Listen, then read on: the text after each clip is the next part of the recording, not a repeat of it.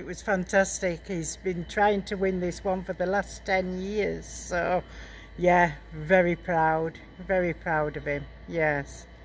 And it's a big moment winning it at the county show. It is. He's won it at other shows, but he's never ever won it at the county show. So, yes, it was really pleased for him and he was as chuffed to bunch he was, yes.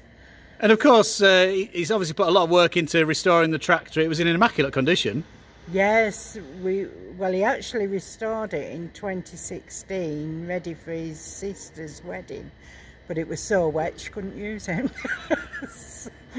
but yes, he's yeah, he is. He's he's on with another one at the moment. He's on with a 148 now.